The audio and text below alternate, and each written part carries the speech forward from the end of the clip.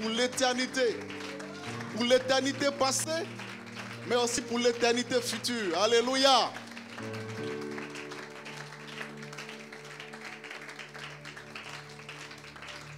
Dans cette position, tu légèrement fermer les yeux. Père, je te rends toute la gloire parce que tu as mis ce jour à part. Il t'a plu de porter ton regard sur moi, moi le moindre parmi mes frères, afin de faire de moi cet instrument-là que tu vas t'utiliser ce matin pour communiquer ta pensée et accomplir ce que tu as prévu faire. Laisse que Seigneur, je sois euh, aidé par ton esprit pour être fidèle afin de transmettre fidèlement ce que tu veux que ton peuple reçoive. Au reste, permets que moi aussi je sois nourri, que je ne sois pas à part de ce moment, mais que j'ai ma part et qu'ensemble nous sortons de ce culte pleinement béni, tous ensemble, au nom de Jésus-Christ. Amen. Veuillez vous asseoir, s'il vous plaît. Je vous salue dans le précieux nom de notre Seigneur Jésus. Je voudrais nous inviter à prendre les Saintes Écritures. Et nous allons lire le livre de Marc. Donc le récit de Marc au chapitre 4 à partir du verset 35. Alors, pour gagner du temps, donc, je, vais, donc lire. Ce même jour, sur le soir, Jésus leur dit, passons sur l'autre bord. Et après avoir envoyé la foule, ils l'amenèrent dans la barque où il se trouvait. Il y avait aussi d'autres barques avec lui. Il se leva un grand tourbillon et les flots se jetèrent, se jetaient dans la barque, au point qu'elle se remplissait déjà. Et lui, il dormait avec la poupe sur le coussin. Ils le réveillèrent et lui dirent, Maître, ne t'inquiètes-tu pas que nous périssions? S'étant réveillé, il menaça le vent, il dit à la mer, Silence, tais-toi. Et le vent cessa et il y eut un grand calme. Puis il leur dit, Pourquoi avez-vous si peur? Comment n'avez-vous point de foi? Ils furent tous saisis d'une grande frayeur et ils se disent les uns aux autres, quel est donc celui-ci à qui obéissent même le vent et la mer? Amen. Gloire à Dieu. Le thème que Dieu a déposé à mon cœur ce matin, c'est, vous savez, nous sommes dans euh, nous sommes dans une période où nous traitons un thème central sur le nom de Jésus. Et la petite portion que Dieu a voulu que nous partageons ce matin s'intitule donc Jésus-Christ, celui à qui tout est soumis. Alléluia. Jésus-Christ, celui à qui tout est, tout est soumis. Bien-aimés, nous sommes dans un monde où les choses sont en train d'aller à une vitesse et beaucoup d'événements se produisent, certains, certains événements dont nous avons la maîtrise ou le contrôle. Il y a des choses aussi également qui échappent à notre contrôle. Il y a des choses que nous pouvons maîtriser, il y a des choses que nous ne pouvons pas maîtriser Peut-être parce que nous ne connaissons pas les tenants et les aboutissants. Et Dieu a pensé déjà aux choses qui allaient déjà arriver et il nous a préparés d'avance. Alléluia. Dans Genèse, lorsque euh, Adam a péché, Dieu avait fait une promesse. Il dit, le, la postérité de la femme écrasera la tête du serpent et il lui blessera le talon. Alléluia. C'était donc la promesse déjà que Dieu avait annoncée pour la venue de notre Seigneur Jésus-Christ comme la solution ultime. Je ne dis pas une solution, mais la solution ultime que Dieu allait donc apporter à l'humanité. Ainsi, Dieu va donc euh, se sélectionner une femme, une jeune fille qui avait à cet âge-là, elle avait peut-être 16 ans à cette époque, une jeune fille du nom de Marie, qui était dans des périodes de fiançailles, donc en train donc de, de, faire le cheminement pour achever le processus donc de mariage. Et il va donc décider de, d'étonner le monde entier. Voyez, la, Bible a été très claire. Dieu a dit que la postérité de la femme. Or, nous savons que dans la logique euh, juive, on ne parle pas de postérité de la femme, on parle de postérité de l'homme. Si on veut citer les héritiers, on va citer les hommes. Les femmes sont un peu en quelque sorte, euh, euh, pas marginalisées, mais pas citées parce qu'en général, elles sont appelées à rejoindre leur mari et à porter le nom de leur mari. Vous voyez?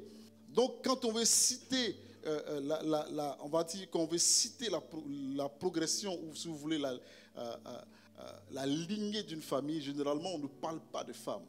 C'est simple, c'est parce que justement les femmes sont amenées à se marier et elles vont porter le nom de leur mari. Et du coup, quand tu portes le nom de ton mari, ton nom de jeune fille disparaît. Les mariés savent ce que ça veut dire. Et donc, euh, Dieu va se choisir une jeune fille qui n'a connu ni homme, qui était encore totalement vierge, et Dieu va accomplir une chose extraordinaire. Il a dit que la postérité de la femme. Donc, ce qui veut dire que Jésus ne devait pas arriver par l'entremise d'un être humain, d'un homme, d'un mâle. Alors Dieu va envoyer la puissance du Saint-Esprit qui va aller féconder l'ovule ou le verre dans le sein de, de Marie. Et ce saint enfant qui est né on lui a donné le nom de Jésus. Alléluia. Le nom de Jésus. Là, là de, on va dire de la prophétie à la naissance de Jésus, tout a été fait de façon prophétique. Rien n'a été fait sans... Même le nom a été donné de façon prophétique. Un ange est apparu et a donné le nom. Vous voyez, c'est pour dire que le nom peut avoir un impact le nom peut avoir une influence sur la vie de celui qui le porte. Là n'est pas mon propos. Ce matin, nous voyons que Jésus étant né, il va passer 12 ans. Ensuite, il va donc grandir en apprenant, donc au pied donc des, des anciens, parce que n'oublions pas que Jésus était aussi un bon élève, mais aussi il échangeait la pensée de Dieu avec ceux qui étaient là. Vous pouvez lire comme ça que à 12 ans, lorsqu'il était resté dans le temple, les, scribes et, tous ces docteurs qui étaient là étaient frappés par l'intelligence que Jésus avait des questions spirituelles, mais aussi en ce qui concerne les saintes écritures. Vous voyez? Et une chose va se produire. Après donc que Jésus atteint donc les 33 ans, il va commencer a exercé le ministère. Pendant trois ans et demi, il a donc exercé le ministère. Et pendant trois ans, voici une personne qui n'est jamais arrivée en France, mais qui impacte jusqu'aujourd'hui la France. Alléluia. En son temps, il n'y avait pas de réseaux sociaux. En son temps, il n'y avait pas de TikTok.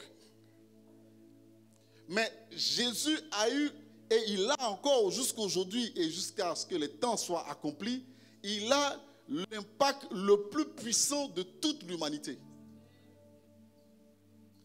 L'impact le plus puissant de toute l'humanité. Alors, vous savez bien aimé, Jésus a visité que deux pays. En tout cas, en ma connaissance, Jésus a visité que deux pays. L'Égypte parce qu'il a fui et ensuite, il est resté en Israël. Et en Israël, il n'a même pas parcouru tout le pays. Hein. Mais la Bible dit la renommée. la renommée de Jésus parcourait tout le pays. Pourquoi? Parce que Jésus était un homme d'action. Jésus n'était pas un homme simplement de blabladage. Voilà, tu me comprends, hein? Ou de, discours. Il était donc, Jésus donc est celui qui parle, mais qui réalise. Et en attendant, même, attendant même à penser que sa main se confond avec sa bouche. Parce que lorsqu'il dit, la chose arrive. Quand il parle, la chose existe. Donc, s'il ne parle pas, c'est que ça n'existe pas. Donc, Jésus, un monsieur qui est venu en chair comme vous et moi, resté dans son petit coin, hein, il a impacté tout le monde entier au travers de ses actes. Je voudrais dire à quelqu'un, la vie chrétienne n'est pas une question de parole, c'est une question d'acte que tu poses. C'est pour cela d'ailleurs que, pour attester cela, il a été écrit les actes des apôtres, non les paroles des apôtres, les actes des apôtres. Mais nous parlons tellement que bien souvent quand nous nous retrouvons en face des situations et qu'on galère, on se rend compte que le discours n'a rien à voir avec, avec la réalité. Or, Dieu nous a appelés à impacter le monde. Donc en réalité, le fait que Dieu t'a appelé, le fait que Dieu m'a appelé, c'est pour faire de nous la réponse aux questions des autres. La réponse du monde. Mais comment se fait-il que les gens, nous nous trouvons souvent en face des situations où nous avons l'impression d'être impuissants Je ne sais pas à qui ça arrivé, mais moi, ça m'est déjà arrivé plusieurs fois. Où tu as même l'impression que tu pries, mais ça ne change pas. Où tu as même l'impression que c'est une montagne infranchissable, indéplaçable, si ça existe. Et souvent, on se demande, mais qu'est-ce qui se passe? Et bien souvent, même, nous sommes emprunts souvent par moments à, à nous ridiculiser devant les gens. Parce que tu parles tellement et tu es tellement convaincu de ce que tu dis et que quand la chose n'arrive pas, si tu pouvais être même une petite souris pour te cacher même quelque part, tellement ta honte. Est-ce à cela que Dieu nous appelle? Notre Dieu est-il limité? Notre Dieu est-il incapable d'accomplir ce que nous disons? Parce que nous croyons que ce que nous disons, nous nous appuyons sur les saintes écritures. Bien aimé, je voudrais ouvrir une parenthèse pour dire à quelqu'un, si tu racontes des fables habilement conçues, sache que tu n'auras pas le résultat escompté de la Bible. Alléluia. Mais quiconque s'appuie sur sa parole, voit le résultat selon sa parole. Alléluia. Alors, voici une histoire assez intéressante. Jésus donne une instruction après qu'il était, après avoir fini donc d'exercer avec une foule, il demande à ce que son équipe aille de l'autre bord. En un mot, Jésus donne des instructions claires. Et les disciples vont monter de la barque et ils vont commencer à s'en aller. Sauf qu'il était plus facile pour eux de prendre la barque pour aller de l'autre bord que de faire le grand tour. Parce que ça allait être certainement compliqué et très long. Alors ils ont pris la barque, passer de l'autre bord. Maintenant, en route, il va se poser quelque chose. La Bible dit que il y a eu un vent, il y a eu donc une tempête qui s'est levée. La tempête s'est levée. Mais voici des gens qui venaient à peine d'écouter le Seigneur Jésus-Christ, qui venaient juste de recevoir la parole de Dieu, et juste après, une épreuve se trouve là et ils ont l'impression d'être impuissants. Je me pose donc la question, et ça, ça n'engage que moi. Ils se sont trouvés dans la bac. Bien aimé, Jésus était aussi dans la bac. Mais cette situation est arrivée. Pourquoi Jésus peut-il être dans ta bac et la chose peut arriver? Voici la grande question qu'on est en droit de se poser. Et je voudrais donner quelques pistes de réponse. La chose est arrivée afin que tu exerces ta foi. Alléluia. La chose est arrivée afin que tu démontres que tu connais le Dieu en qui tu as cru. La chose est arrivée afin de tester ta foi.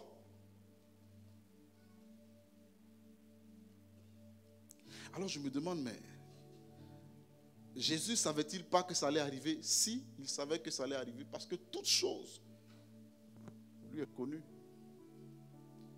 Mais hélas, Jésus arrive et il se rend compte que ses amis, parce qu'il a dit, je ne vous appelle plus mes serviteurs, mais vous êtes mes amis, ses amis ont échoué lamentablement en face d'un vent.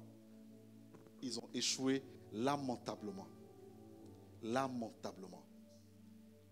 Mais ce qui était, ce qui m'a toujours euh, choqué un peu, je me suis dit, mais pourquoi sont-ils pas allés réveiller Jésus au début et ils ont galéré d'abord?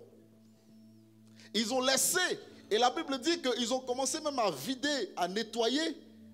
Et quand ils se sont rendus compte que leur action ne portait pas les fruits escomptés et que malgré leurs efforts, ils étaient en train de se noyer, alors on dit les gars, c'est chaud. Ça c'est chaud. Réveillons le maître. Réveillons le maître. Mais puis, les questions qu'ils vont poser à Jésus témoignent l'état de leur cœur. Alléluia. Ils vont dire à Jésus ceci. Maître, ne t'inquiètes-tu pas que nous sommes en train de périr? En un mot, Jésus, tu ne vois pas ce qui nous arrive. Et toi, tu dors. Et puis, tu es avec nous dans le bateau. Mais tu dors quand même, Jésus. En un mot, qui es-tu? Au moment où nous tous sommes, sommes en train de mourir, toi, tu dors. Alléluia. Je voudrais dire à quelqu'un, Jésus a des raisons de dormir parce que tout pouvoir lui a été donné. Alléluia. Vous savez, quand tout pouvoir t'est donné, tu peux être tranquille. Les situations ne t'effraient pas. Peu importe ce qui peut arriver, tu sais que rien n'arrivera. Tu sais que tu auras toujours le dernier mot. Alléluia. La Bible dit que lorsque Jésus s'est levé, il n'a même pas parlé aux disciples. Il n'a même pas parlé aux disciples. Je voudrais dire à quelqu'un bien-aimé, si tu appelles le Seigneur dans ta situation, la première des choses que Jésus va faire, ce n'est pas de te faire des reproches, c'est gérer d'abord ton problème. Alléluia. Il va régler d'abord le problème. Malheureusement, c'est ce qui arrive avec beaucoup d'entre nous. Aujourd'hui, je ne sais pas pour vous, mais moi, je suis encore dans la chair. Ce sont des choses qui m'arrivent aussi. Et il y a des fois quand des situations arrivent, au lieu de te mettre à chercher celui qui règle les problèmes, on se met à se battre par nos propres forces sans l'associer. Et c'est lorsque nous voyons que les choses deviennent, prennent donc un niveau de complexité assez élevé qu'on commence à fléchir chez nous. Pourquoi n'as-tu pas associé Jésus au début? Pourquoi n'associes-tu pas le Seigneur au début des choses? Et tu attends que ça devienne d'abord autre chose. Et que ça prenne donc des proportions souvent dégradantes et dégradées. C'est là que tu commences à, prier, prier, jeûner, appeler tout le monde en tous les sens. Bien-aimé, je voudrais conseiller à quelqu'un ce matin, je ne sais pas pour vous, mais moi j'ai choisi d'associer Jésus à tout. Alléluia. Parce que lorsque Jésus est dans tout, mais que Jésus est actif dans tout, parce que tu peux être là, il peut être avec toi dans la bac sans que tu l'associes aux choses qui se passent dans la bac. Ils l'ont laissé en train de dormir. Et ils ont commencé à se débrouiller eux-mêmes. C'est tellement qu'ils ont dit, comme une personne que j'ai entendue, j'ai pas envie de déranger Dieu. Il est trop important.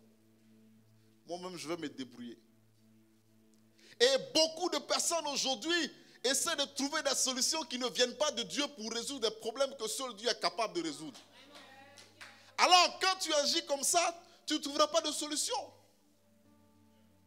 Et malheureusement, les problèmes vont se mettre à perdurer. Malheureusement, certains, s'ils ne reboussent pas chemin, gloire soit rendue à Dieu, c'est pour devenir des gens qui sont dans l'église, qui ne connaissent aucune percée, aucun avancement, et connaissent un statu quo dans leur vie spirituelle comme dans leur vie sociale, comme dans leur vie, dans tous les domaines de leur vie. Bien-aimé, voici cette situation-là me peine beaucoup quand je lis ce, texte parce que on est, on connaît. Voyez, est-ce que, écoutez, il y a une chose qui me choque toujours lorsque je lis la Bible.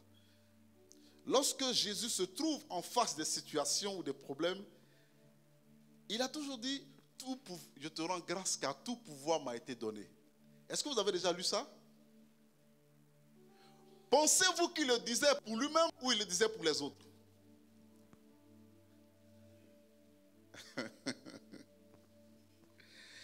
Bien-aimé, Jésus s'est senti obligé de nous rappeler cela constamment. Parce que ce sont des choses qui peuvent nous échapper lorsque nous sommes dans le feu de l'action. Regardez avec moi. Dans Matthieu chapitre 11 au verset 27, il a dit, toutes choses m'ont été données par mon Père. Et personne ne connaît le Fils si ce n'est le Père. Personne non plus ne connaît le Père si ce n'est le Fils. À qui le Fils le révèle. Au chapitre 28, au verset 18e de Matthieu, il est écrit, Jésus s'étant approché, leur parla ainsi, tout pouvoir m'a été donné dans le ciel et sur la terre. Alors, moi, je suis pragmatique. Quand on dit dans le ciel, c'est que ce sont des choses qui sont dans le ciel. Mais Jésus ne s'est pas arrêté là. Il dit sur la terre. Oh, nous sommes sur la terre. Quand on dit que tout pouvoir a été donné, bien aimé, c'est effectivement tout pouvoir. Alors, quels sont les pouvoirs qui existent que tu connais? Il y a le pouvoir politique, il y a le pouvoir économique, il y a le Citez-moi tous les pouvoirs que vous pouvez imaginer. Alléluia.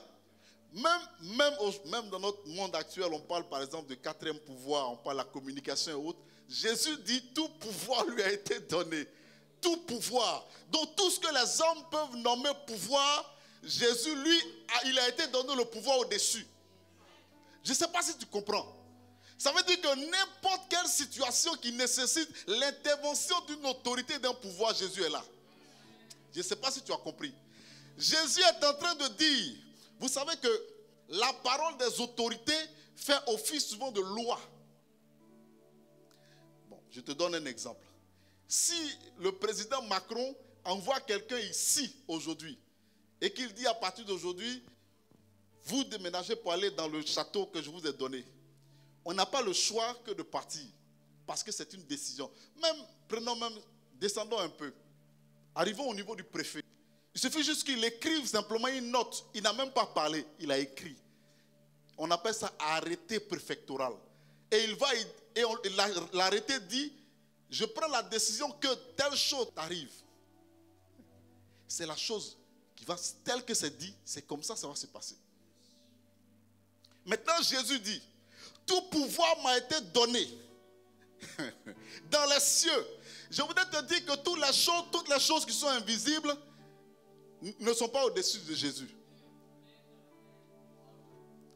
Or, l'invisible gouverne le visible. Et le visible est lié à l'invisible. C'est pourquoi il a dit, tout ce que vous lirez sur la terre sera lié dans les cieux. Voyez? Donc Jésus est en train de dire quoi? Que nous avons avec lui l'autorité suprême qui gouverne la terre et le ciel. Mais comment se fait-tu que tu as l'autorité suprême avec toi? Et quand la situation arrive, les choses ne changent pas Or, une autorité n'est pas obligée forcément de s'y rendre. Simplement, sa parole suffit. Et le centenier a bien compris cela. Il a dit, c'est même pas la peine de te déplacer chez moi. Le centenier a compris. Parce que dans l'armée, c'est une question d'autorité. Il suffit qu'il a parlé, tous les subalternes, tout le monde obéit. Et la Bible dit que le centenier a dit, c'est même pas la peine d'arriver chez moi, dis juste une parole. Parce que quand toi tu parles, le ciel s'aligne. Quand tu parles, la terre s'aligne. Quand tu parles, tout genou fléchit.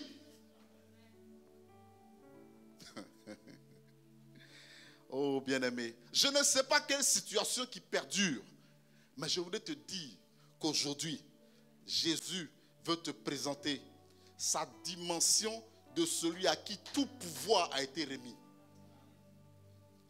Je ne parle pas de, de, moitié, mais je parle de tout pouvoir lui a été remis. Oh Jésus, merci. Alléluia. Hmm. Vous savez, lorsqu'on lit par exemple dans, dans Philippiens chapitre 2, 9 à 11, nous voyons que tout pouvoir lui a été donné. C'est pourquoi Dieu l'a souverainement élevé et lui a donné le nom qui est au-dessus de. Pouvoir est aussi associé au nom. Le nom que Dieu lui a donné, Dieu a associé aussi le pouvoir à cela. C'est pourquoi chaque fois que tu diras au nom de Jésus, les choses en principe doivent changer les choses doivent bouger. Parce qu'en fait, tu, tu, en réalité, ce n'est plus toi qui es en charge du problème. quand, tu, quand tu dis Jésus, c'est comme si tu transférais le problème au Seigneur Jésus. Je ne sais pas si quelqu'un comprend. Donc le nom de Jésus est le nom qui change toutes choses. C'est le nom qui change toutes choses. Et la Bible dit, bien aimé, lorsque nous lisons donc ce texte, nous voyons que euh, quand ils sont, quand Jésus a menacé, il a touché, il a réglé le problème, alors il va s'adresser à ses disciples. Vous savez, Dieu attend que tu bouleverses ton milieu. Dieu attend que je bouleverse mon milieu. Et Jésus veut faire de toi son ambassadeur. Or, vous savez, bien aimé, un ambassadeur dépend directement du pays qu'il a mandaté. Ses ressources, sa vie, son pouvoir, son autorité viennent du pays qu'il a mandaté. Et plus le pays est glorieux, plus ce pays est respecté, plus cet ambassadeur est respecté. Maintenant, imaginez-vous, c'est comme ici en France, quand on dit l'ambassadeur des États-Unis, tout, le monde même s'il demande une audience aujourd'hui à 15 heures, qu'il n'y avait pas de créneau, on fait un créneau pour lui. Mais toi, tu viens du royaume des cieux. Toi, tu es maintenant un enfant de la maison de Dieu. Où est l'impact que nous avons, bien-aimés? Souvent même, tu dis au nom de Jésus en tremblant. Tu n'es même pas sûr que ça va porter des fruits. Tu n'es même pas sûr. Et tu le dis souvent par formalisme. Parce que tu te dis, bon, on, dit de dire au nom de Jésus, hein. Bien aimé, nous sommes arrivés dans une phase où tu dois savoir en qui tu as cru. Tu dois savoir en qui tu as cru. Et ne nous trompons pas, les temps qui arrivent vont être difficiles. La Bible ne nous, a pas, annoncé des temps meilleurs. Mais la Bible nous nous dit que Dieu nous capacite pour tenir dans ces temps-là. Alléluia. Et l'âme la plus redoutable, c'est le nom de Jésus. Sa parole est le nom de Jésus. Le nom de Jésus.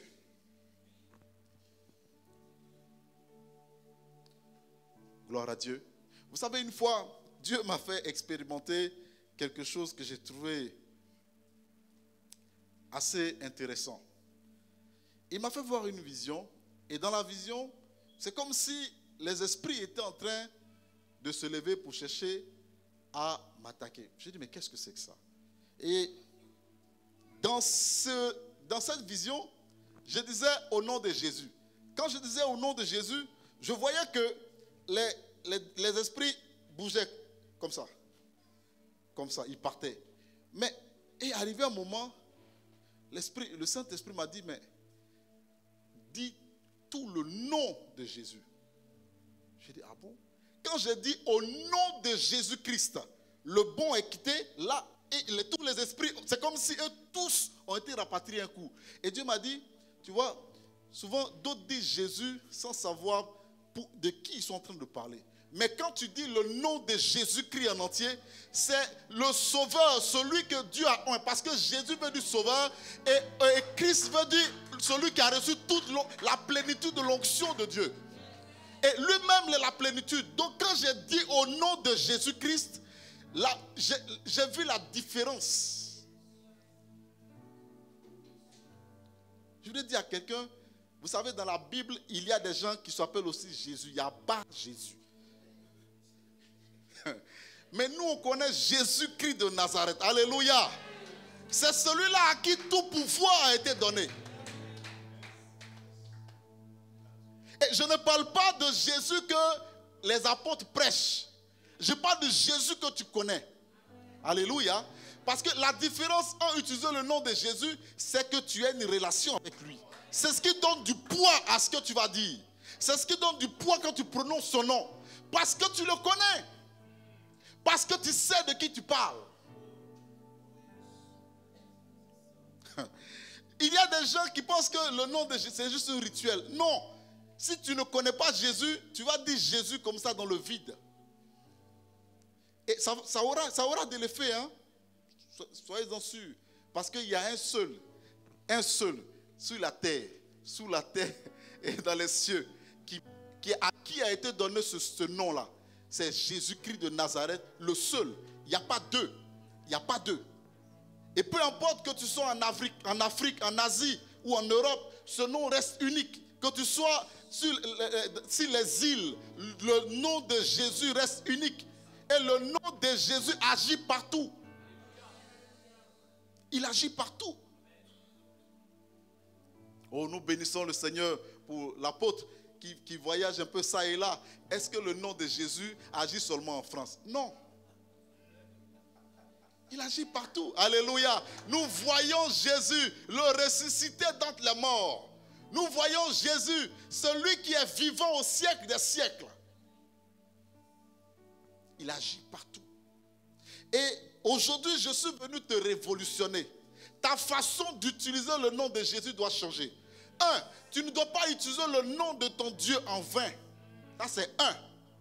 Parce que c'est ce qui fait que ta parole n'a plus de poids. Parce que tu utilises tes paroles de façon vile. La Bible dit, si tu sépares ce qui est vil de ce qui est précieux, c'est alors que je ferai de toi ma bouche.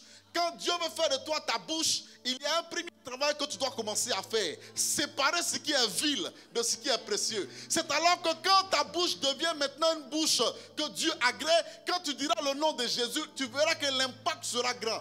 Mais la même bouche que tu utilises pour souvent même dénigrer le Seigneur ou même t'asseoir au banc des, des, moqueurs et des, et des pécheurs, c'est ce même, cette même bouche que tu utilises pour dire au nom de Jésus. Où est l'impact? Parce que tu as utilisé tu as utilisé ce vase pour faire des choses qui sont viles. Et l'une des choses aussi qui peuvent être un obstacle à, qui peut être un obstacle à l'exaucement, euh, à, à, la manifestation de la toute-puissance du nom de Jésus, c'est aussi le fait de douter.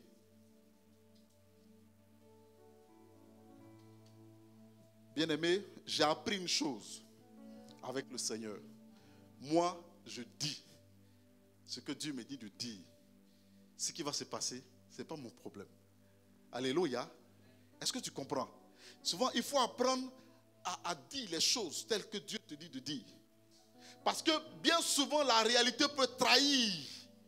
Et les conditions, les circonstances qui, qui existent à l'instant T, lorsque Dieu te dit de dire ces choses, peuvent trahir ta foi. Seulement. Il est lui responsable de manifester cela. Alléluia. Alléluia. Oh bien-aimé, vous savez, il y a une chose qui est très importante à savoir. C'est que quand Jésus dit tout pouvoir m'a été donné, c'est d'abord un pour nous rassurer. Alléluia. Pour nous rassurer.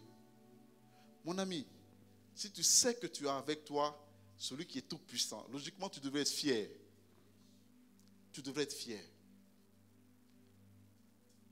Est-ce que tu es fier de marcher avec Jésus?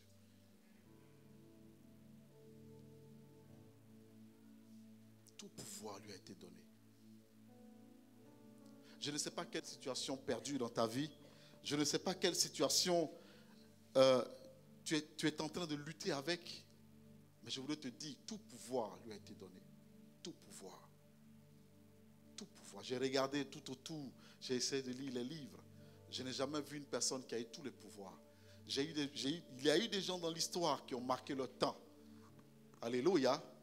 Il y a ceux qu'on appelait en leur temps les pharaons. Aujourd'hui, on voit leur sarcophage, leur tombeau existe.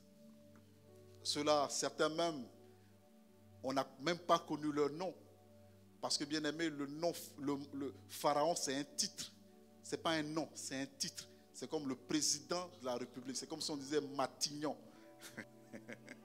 c'est ce que ça veut dire. Et on n'a même pas connu qui, qui, qui étaient ceux-là. Ils sont allés dans, aux oubliettes. On a vu des gens qui ont marqué négativement l'histoire ils sont aux oubliettes. On a vu les Hitler qui sont passés. On a vu des présidents qui ont, causé des dégâts dans le monde. On a vu des gens qui ont causé des guerres dans le monde. On a vu des gens qui ont, euh, euh, qui ont fait beaucoup de choses. Mais tous, et tous, à l'épreuve du temps, sont passés. À l'épreuve de la mort, sont passés. Mais il y a un, un, il y a un, un seul, un seul. Et c'est de celui-là que je veux te parler ce matin. Celui-là qui est puissant lui là, la Bible dit que il, il, allait jusqu'à affronter l'ennemi redoutable de, l'humanité, qui était la mort. Et, lorsqu'il était sur la croix, ils se sont trompés. Ils se sont trompés. Alléluia. Ils se sont trompés. D'abord, en, le clouant au poteau de la croix, ils se sont trompés. En, le flagellant, ils se sont trompés.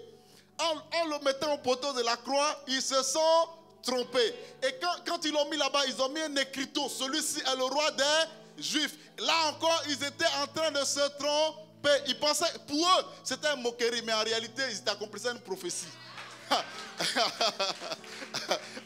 Et la Bible dit ceci. Lorsque il était à la croix, on lui a mis une couronne d'épines.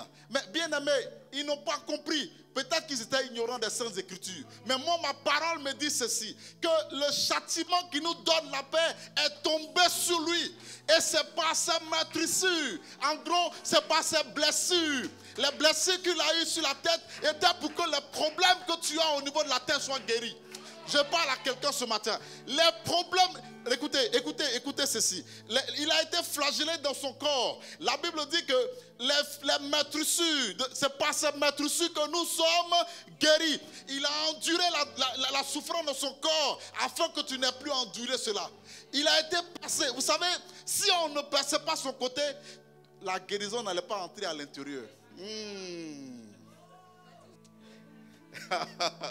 Il fallait une ouverture pour que Dieu puisse rentrer à l'intérieur. Écoutez-moi ceci, glory to God. Écoutez-moi ceci. Dieu, pour pouvoir créer Adam, pardon, Ève, la Bible dit qu'il a ouvert le côté.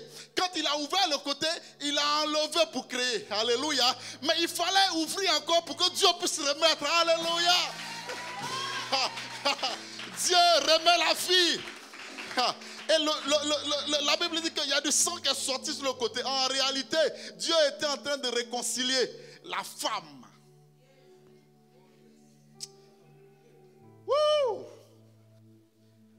Hmm.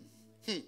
Alors, il, à, la, croix, les gens n'ont pas compris. Il a crié un coup. Mais vous savez, il a trompé. Jésus est trop stratège. Dis, dis stratège avec moi. Dis le mot stratège. Jésus est à la croix et la Bible dit il se met à crier parce que le poids de nos péchés était trop lourd. Mais la Bible dit juste après, on dit il a rendu l'esprit, il n'a pas rendu l'âme. Oh, oh, oh, il n'a pas rendu l'âme. Ça veut dire qu'il est retourné au Père. Parce que pour pouvoir aller affronter la mort, il faut qu'il retourne dans son trône. Alors, vous savez, avant de monter, il faut descendre. Donc, Jésus, nous, les gens pensaient qu'il était mort. En réalité, il n'était pas mort. Il était allé en mission. Ah. Parce que la Bible dit qu'il est allé, il a affronté la mort et le séjour des morts. Bien aimé, quand il a affronté, la Bible dit qu'il a fait quoi? Il a vaincu, mais il a pris quoi? Oh, il a pris quoi? Hey, il a pris quoi? Les clés. Parce que la seule chose qui restait à Jésus, c'était cette clé-là. Il fallait qu'il prenne la clé. Et quand il a pris les clés, non seulement il a vécu la mort, mais il a livré publiquement un spectacle afin que le spectacle soit connu de tous. Jésus pouvait le faire en privé, mais Satan, il faut l'exposer. Aïe, aïe, aïe, aïe, aïe. Satan doit être exposé. Ne laisse jamais le diable de ta... Ne cache pas les choses que Dieu, que le diable essaie de faire dans ta vie. Expose-le. Il faut l'exposer. Quand tu exposes le diable, il est affaibli, il n'a plus de pouvoir. Alors la Bible dit qu'il a, il a livré publiquement un spectacle. Et quand il a livré, publiquement un spectacle, il a, il vécu, il a triomphé de lui. Alors il a dit, mort. Il a dit quoi? Mort. Où, est, où est quoi? Mort. Où est quoi? Où est ton pouvoir? Il a vaincu la mort, mes bien-aimés. Il a vaincu la mort. Il a, il vaincu la mort. Il a tout vaincu. Alors, ils vont, ils vont, ils, vont commettre l'erreur de dire on va le laisser là. Oh, mes bien-aimés, mais Dieu avait préparé le cœur d'une personne. En la personne donc de Joseph d'Arimathée. Voici une personne et je sais que dans ces derniers temps, Dieu suscite des Joseph d'Arimathée qui s'étaient taillé donc un tombeau dans une grotte neuf, clean.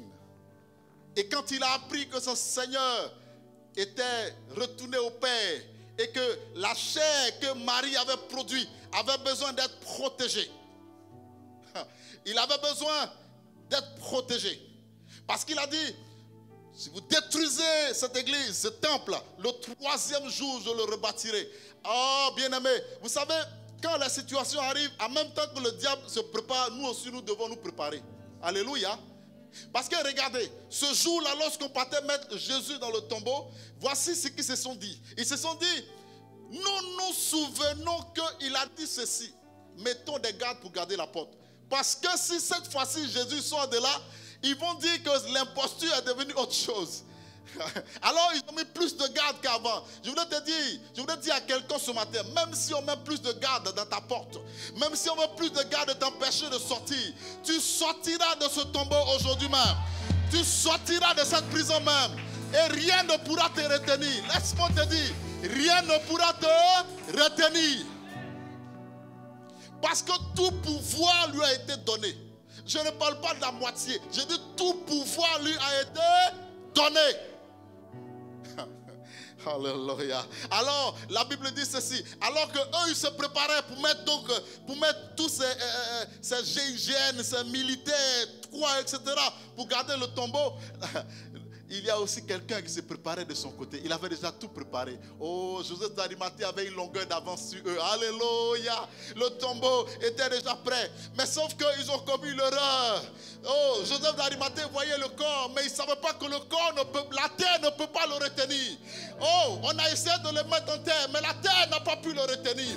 Et quand il est rentré dans la terre, la terre, d'abord, regardez, le premier jour, il mis, quand on l'a mis à la croix, qu'il a crié, il y a eu trois, il y a eu, il y a eu plusieurs actions plusieurs événements qui sont arrivés. Un, la terre a tremblé. Mon ami, la terre a tremblé. Parce qu'il ne peut pas rentrer dans la terre. La terre ne peut pas le retenir. Alléluia. Et la terre ne peut pas le retenir. Mais la Bible dit que le ciel aussi s'est obscurci. Parce que Alléluia.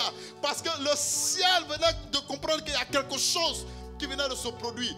Mais aussi l'église a été aussi impactée. Le, regardez, regardez, le voile s'est déchiré. Mais la le, tremblement de terre qui a eu lieu de la terre est allé jusqu'à l'église. Pour dire à l'église que désormais nous changeons de paradigme. Désormais nous rentrons dans une nouvelle alliance plus excellente que celle que vos pères avaient connue. Désormais, vous rentrez maintenant dans la nouvelle alliance qui, euh, qui, est une alliance plus excellente où celui que vous connaissez est celui qui a triomphé de tout. Oh, bien-aimé, il est celui à qui a été donné tout pouvoir. Vous voyez ce qui me choque? C'est que chaque fois que Jésus l'a dit, tout pouvoir m'a été donné, les gens qui étaient à côté ne croyaient pas. Jusqu'à ce qu'ils voient le résultat. C'est quand même bizarre. Tout pouvoir, Jésus vient, il les regarde et il a dit, Père, je te rends grâce car tout pouvoir m'a été donné. Et il regarde comme ça. Mais quand il voit le résultat, on dit oh, oh, oh, oh, oh, oh, oh. Donc ce qu'il a dit était vrai. Donc ce qu'il a dit était vrai. Je voudrais dire, je voudrais te dire ceci ce matin, que ce que Jésus a dit va s'accomplir. Les gens seront étonnés parce qu'ils feront le résultat. Notre Dieu n'est pas mort. Il est ressuscité. Notre Dieu n'est pas mort, il est ressuscité. Tout pouvoir lui a été donné. J'ai dit, tout lui est soumis. Tout lui est soumis, tout. Tout, tout, tout. Que ce soit les démons, ils sont soumis. Que ce soit la nature, elle lui est soumise. J'ai dit, la nature même lui est soumise. Voici une personne qui menace le vent et la tempête. Quel est le vent qui souffle dans ta vie? Je suis venu t'annoncer ce matin que celui qui parle au vent et à la tempête, écoute, écoute, écoute, écoute ceci. Jésus n'est pas allé négocier avec le vent. Jésus n'est pas allé négocier avec la tempête. La Bible dit, il a fait quoi? Il a... Non, il a menacé. Il y a des choses sur lesquelles tu dois prendre autorité. Il y a des choses sur lesquelles tu ne dois même pas négocier ni tergiverser. Tu dois prendre autorité, déclarer, ordonner. Souvent on négocie trop. Là où tu dois exercer l'autorité, tu es là en train de Seigneur, souviens-toi de moi. Mon ami, mon ami, on n'est plus, à ce stade. Il y, a des, il y a des dimensions où tu dois être capable de parler pour que ça change. Alléluia. Et c'est pourquoi, pour l'amour de Jérusalem, je ne me tairai point. Alléluia. Il faut que tu parles. Que ta bouche s'ouvre désormais. Assez, ce n'est assez. Assez de subir. Assez de laisser les choses devenir, de, devenir pires. Dieu veut que les choses changent. Et tu es l'acteur par lequel il veut passer pour montrer que lui, il est tout puissant et tout pouvoir lui a été donné, mais au-delà de toutes choses, que tout lui est soumis. Et quand je dis tout lui est soumis, retiens ce mot, tout lui est soumis. Parce que c'est en cela que tu sauras que le Dieu avec qui tu marches ou le Dieu qui marche avec toi n'est pas un enfant, c'est pas ton jeu, c'est pas ton ami. C'est pas ton ami. Il est tout puissant. Ses voix sont au-dessus de tous ses voix que tu peux imaginer. La solution que Dieu apporte, elle est excellente. Même si tu ne comprends pas, elle est excellente. Mais je t'assure d'une chose, quand le temps marqué par Dieu, quand les temps seront accomplis, les choses que tu ne comprends pas aujourd'hui, que Jésus est en train de faire, demain, quand tu verras que tout le puzzle a été rassemblé, tu diras, tu diras gloire à Dieu. Tu diras gloire à Dieu parce que notre Dieu il est l'architecte parfait. Quand il construit une maison, il sait quel dosage il faut. Il sait quelle brique il faut. Il, sait quel bétonnage il faut. Il sait qu'est-ce qu'il faut pour que demain, tu sois parfaitement celui qui t'appelle à être. Je voudrais te dire ce matin, il est le Dieu à qui toute chose est soumise.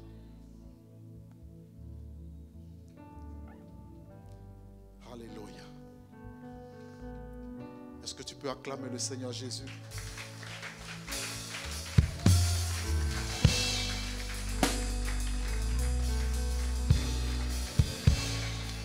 Ce matin, j'aimerais que tu parles à Dieu. Non pas comme tu as l'habitude de parler, mais parle à celui à qui toute chose est soumise. Tout. Parle à celui à qui toute chose est soumise.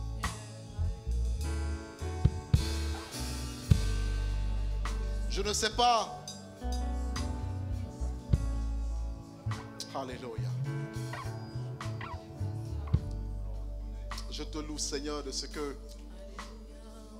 tu m'as envoyé leur annoncer ta parole. Je te loue de ce que, ce que tu avais prévu, Père. Ce matin encore, tu l'as accompli. Je te rends toute la gloire, Seigneur. Présente-lui ce qui te résistait encore. Qu'est-ce qui peine à changer? Qu'est-ce qui est difficile? Qu'est-ce que tu voudrais voir Dieu faire? Avec quoi tu luttes?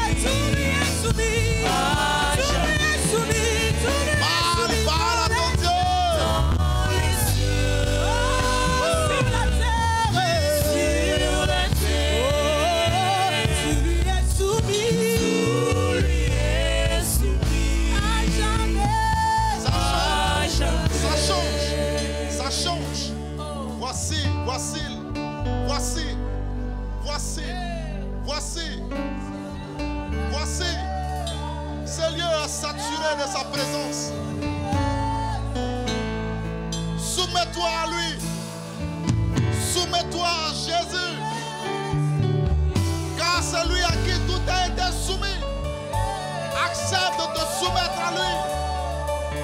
Et tu verras que son pouvoir va se déployer. Tu verras que sa main va se déployer.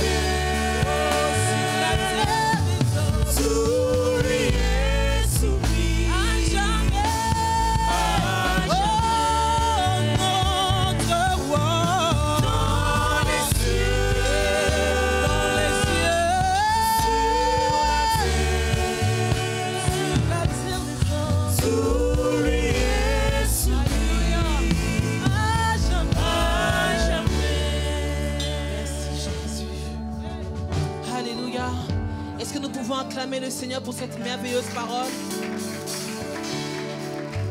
Alléluia. Merci frère Michel, que le Seigneur te bénisse abondamment. Comme nous savons, nous sommes dans 21 jours de prière et nous avons commencé depuis déjà quelques jours. Il y a un panier devant où vous pouvez mettre vos sujets. Alors je vous invite à le faire pour ceux qui ne l'ont pas encore fait.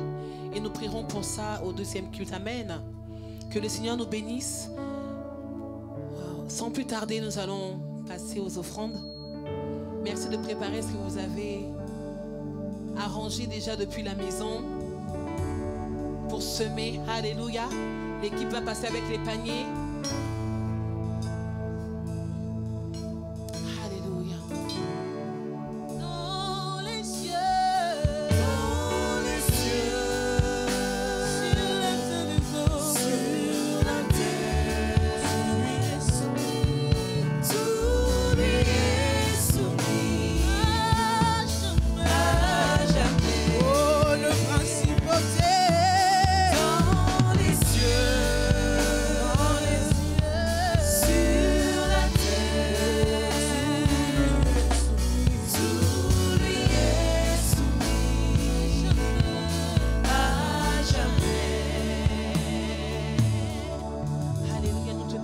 Seigneur, te rendons grâce pour ces offrandes, mon Dieu, mon roi, merci. Merci pour toutes les personnes qui ont pensé, mon Dieu, mon roi, Père, à semer, Seigneur, ce matin. Merci pour celles qui n'ont pas pu, Seigneur, parce que je crois que demain elles pourront, mon Dieu, mon roi. Merci de, de multiplier ces offrandes, mon Dieu, mon roi, parce que nous en avons besoin pour l'avancement de l'œuvre, pour tout le travail que nous avons à faire. Seigneur, merci encore de nous donner de réaliser l'importance de la semence au nom de Jésus. Nous les sanctifions, mon Dieu, mon roi, au nom de Jésus-Christ. Amen. Je vais accueillir les personnes qui sont venues pour la première fois, pendant que tout le monde se rassoit, si elles peuvent rester debout, ou se mettre debout si elles se sont assises, du coup. Est-ce qu'il y a quelqu'un ce matin qui est venu pour la première fois? Amen. Il n'y a personne. Que le Seigneur nous bénisse en tout cas. Je nous souhaite un excellent dimanche. Alléluia. Nous sommes arrivés au terme de notre culte. Je nous souhaite un excellent dimanche, un début bon de semaine avec ce Dieu qu'on nous a prêché, devant qui tout lui est soumis. Alors j'aimerais que tu commences cette semaine avec une mentalité de vainqueur. Alléluia. Quels que soient les problèmes que tu vas rencontrer cette semaine, dis au problème que tout est soumis à mon Dieu. Alléluia. Et crois que tout est soumis à ton Dieu, comme on nous l'a prêché ce matin, et ta semaine sera victorieuse. Amen. Que le Seigneur nous bénisse.